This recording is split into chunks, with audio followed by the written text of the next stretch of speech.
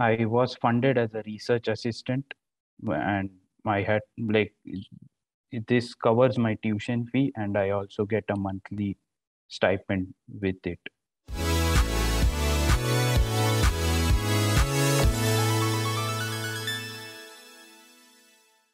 My name is Shanmukh Sarode, and I did my bachelor's in technology from Sardar Vallabhbhai National Institute of Technology, SVNIT Surat.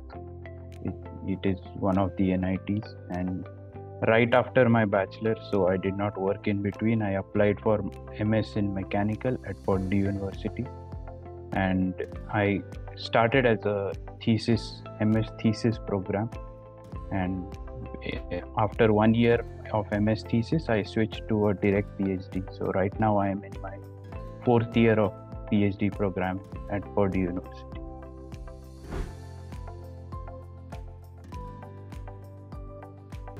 Considering the program that I enrolled in, MS Mechanical, I was not really sure whether I need to pursue PhD considering the time commitment of five years. But once I came to Purdue, I looked at the research facilities and the opportunity and the lab I was working in. I felt like this is the right thing to do, and that is where I decided that I should pursue a longer research in this area.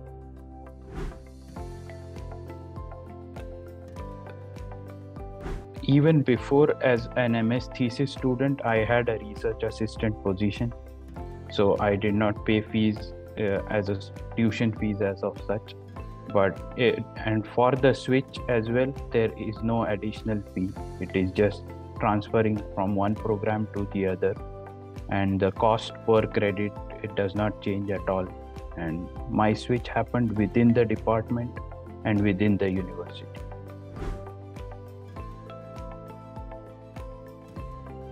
So i joined as a ms thesis student wherein like you have to do a research under a professor. So i already had a professor for my masters. And if the professor is willing to continue uh, or hire you for a phd then you along with the professor write an application to the department asking to uh, transfer my credits or transfer my program from MS to PhD. And this way, you can actually save on some of the courses that you need to take as opposed to doing finishing your master's and then doing your PhD.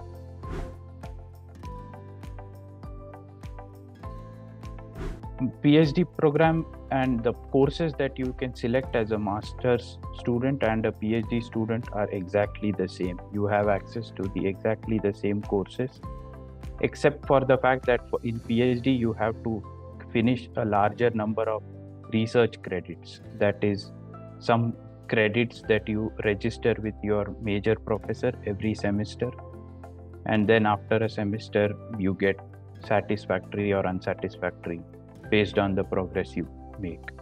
So that is a bit larger in terms of phd program. But yeah the course based like the learning that you do in purdue university or attending classes are exactly the same in the two programs.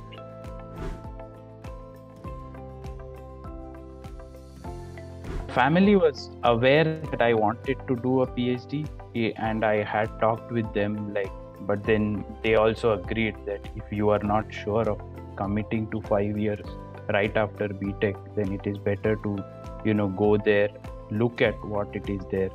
Do i really want to do it? And once i had that uh, uh, idea of how things will be i communicated well with them. I went back to india to discuss with them in person and then i think everything.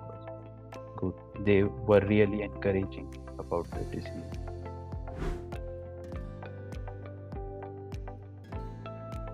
My GPA was 9.2 at SVNIT and my GRE was 320 and breakdown as 170 in quant and 150 in verbal. AWA score of 4 and my TOEFL was 102.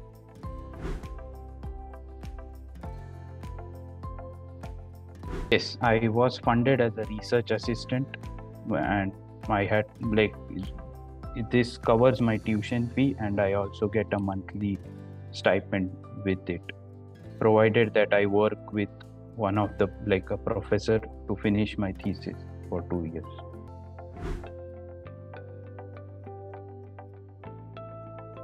I was one of the students that was looking for research assistantships, considering the costs that are involved in like foreign education.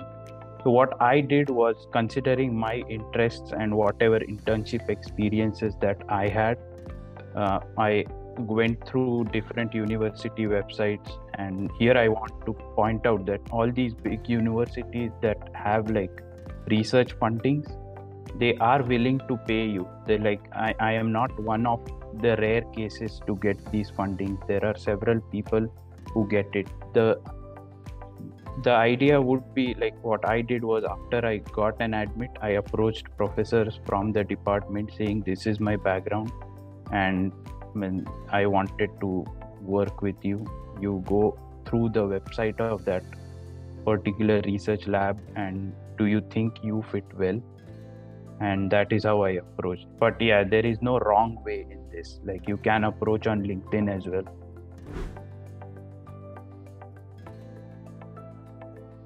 So i had applied to total of 10 universities across three countries. So i had tu delft from netherlands. I had university of british columbia from canada and in the us i had eight universities. I had admits in three of them so i would start with my admits. Purdue university ohio state university university of southern california. And i did not get into five of the other universities that i had applied in united states.